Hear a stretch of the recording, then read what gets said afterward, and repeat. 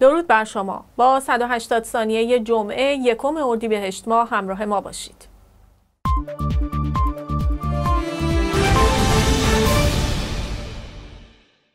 کاملیا سجادیان مادر محمد حسن ترکمان که در جریان اعتراضات کشته شد با اشاره به اعلام عید فطر در روز شنبه در ایران نوشته فردا خیلی از قاتلان و قاتل پروران پشت سر هم اقامه نماز میبندند.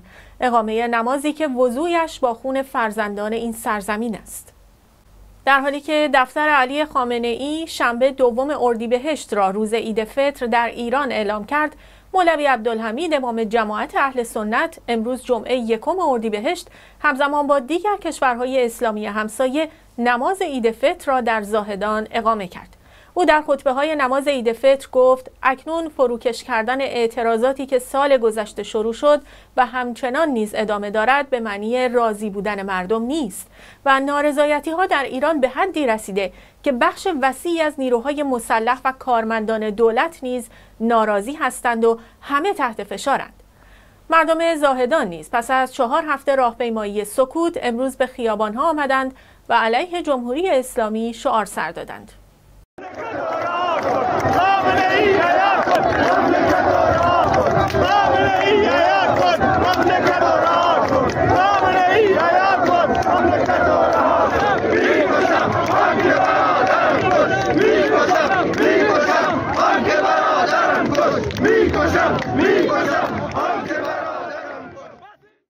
در حالی که در شهرهای کردستان و مناطق کردنشین امروز عید فطر اعلام شد از شهر سقه تصاویری منتشر می شود که نشان می دهد مردم همزمان با اعلام عید فطر بر مزار محسا ژینا امینی رفته و سرود خواندند.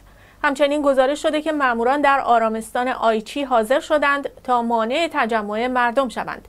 مردم مهاباد و بوکان هم بر سر مزار جانباختگان اعتراضات حضور یافته و سرودهای انقلابی و حماسی را همخوانی کردند.